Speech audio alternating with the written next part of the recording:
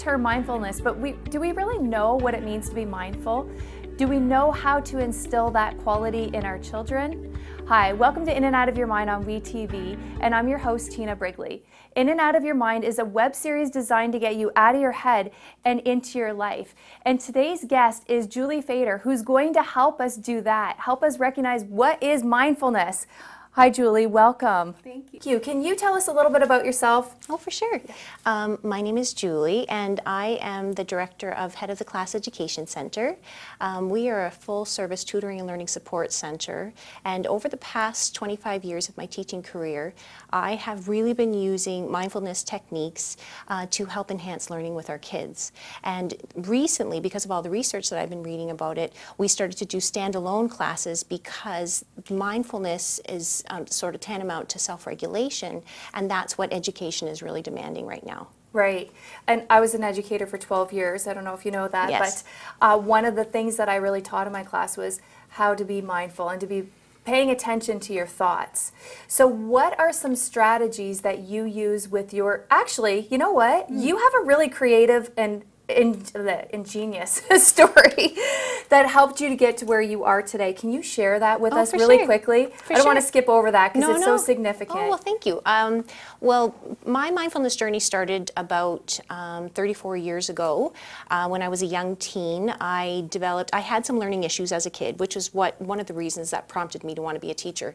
Um, and so I had ADHD, I had some visual spatial learning issues, and a lot of times that can create um, anxiety issues. Anxiety tends to be the flip side of learning issues.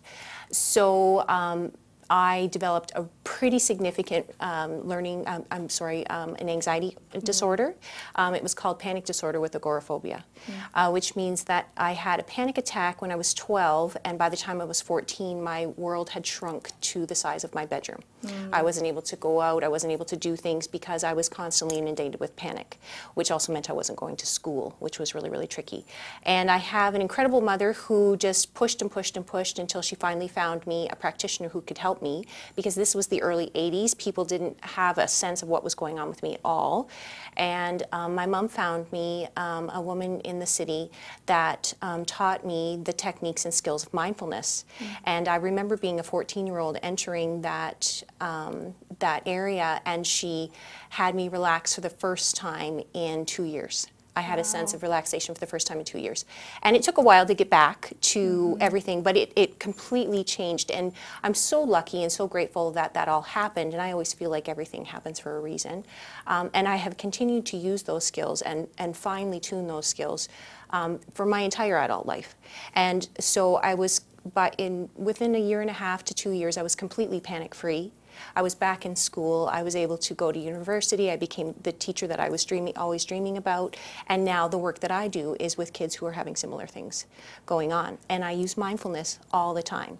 Um, I use mindfulness in my daily life still but um, it, in fact, I was using it before on the in the car on the way here. You know, it's constant, and it's not. It doesn't require a special class. You don't have to have um, a yoga mat. You don't have to have anything. You can do it anytime, any place, anywhere you are is where mindfulness can be. Because essentially it's allowing yourself to get into the moment. It's mm -hmm. allowing yourself.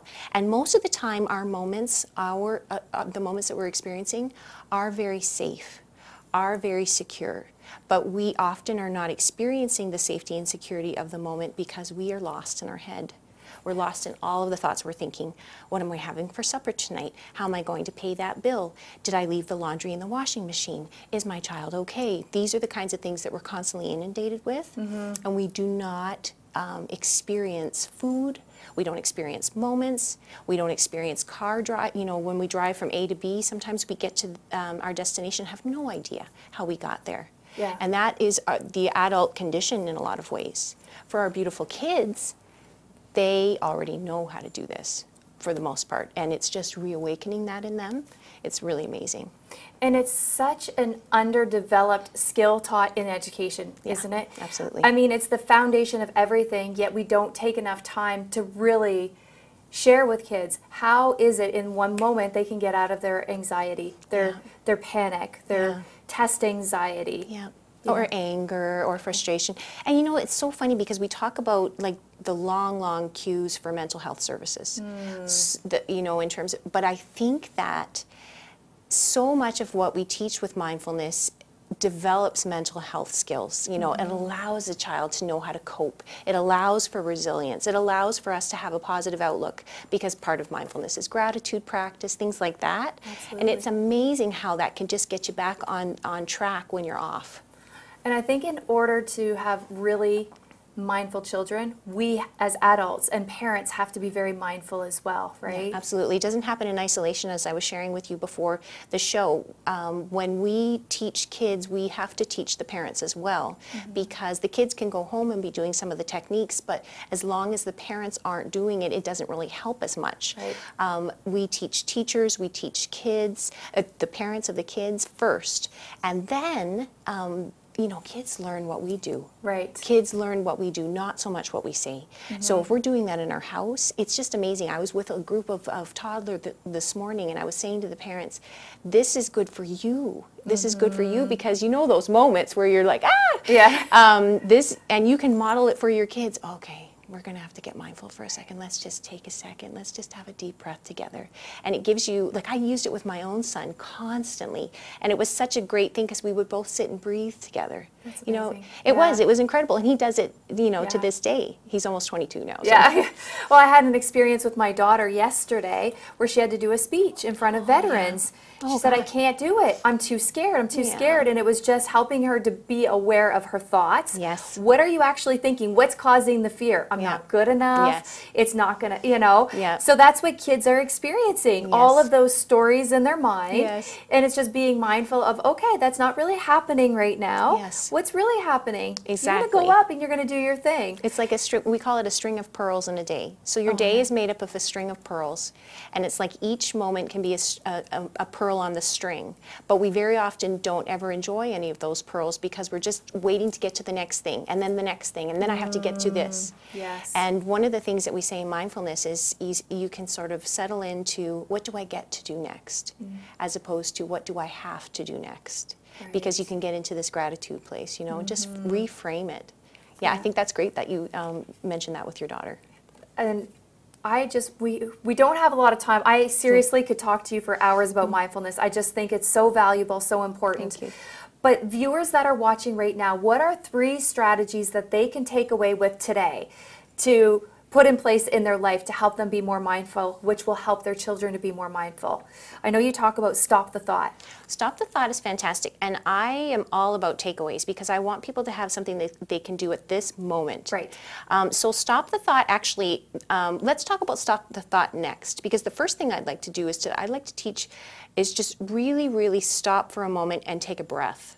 I think that we're not doing that enough, and certainly we're not breathing belly breathing. We're, you know, a baby belly breathes, but we are definitely shallow breathing. So if everybody that's watching and everybody here, if we could just all just take a really, really deep breath and just sort of when you re, um, release your air, just release all the tensions of the day that you've kind of carried so far. So if you just take a really deep breath, you want to have a nice straight back, and you just take a really deep breath in your nose. You fill your belly with as much air as you can get in there and hold it for a second. And then you release the breath slowly and you just kind of settle into your seat or your chair. And then you can do that again. And what I teach the kids is marshmallow muscles. So I everybody knows how squishy marshmallows are. So I always say to the kids, if, um, if a marshmallow is squishy, we can make our muscles like that. So you take your deep breath in and then you release it and you let your muscles just go. And what you're doing is essentially letting the, the cares of the day away. And then um, the next thing that we teach before we teach stop the thought is we teach press the pause. Every kid knows what a pause button is. You know, we have them on. So we teach the kids that their pause button is in the center of their palm. And so we teach the kids to kind of so you cradle yourself a little bit and you just you can do this anywhere. I've done this in the grocery line. And you just take your thumb and you press into your palm and you take a deep breath while you're doing that. And you just release it. And it's just amazing what just that touch on your on your palm can do. Um, and it, I always say to the kids, then you do a check-in. Do I feel better? And if you don't feel better, then you can do it again. And they can keep doing it around their fingers. And then the stop the thought, that comes from mindfulness, but also from some cognitive behavioral stuff. And that is every emotion that we feel in our body starts with a thought.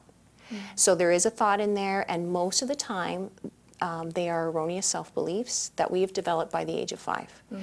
So we work really, really hard on figuring out what that thought is because it's drumming around in there um, and sort of isolating it for a moment and then telling it what's really true. Mm. That's what I say to the kids. Tell that thought what's really true. Right. Because there's a lot of thoughts that we have in there that are affecting our um, physical and mental health that are, have nothing to do with reality. Right. You know, that I'm not smart enough, I'm not good enough, I shouldn't be doing this.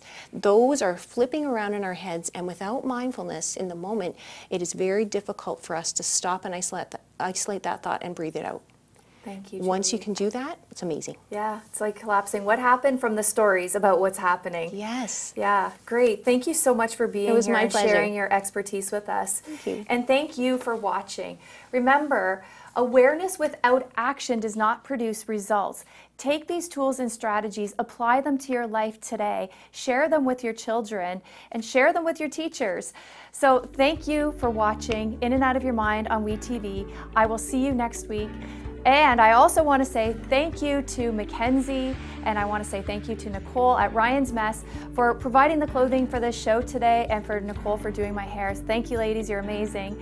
And thank you for watching. And I'll see you back here next week on WeTV.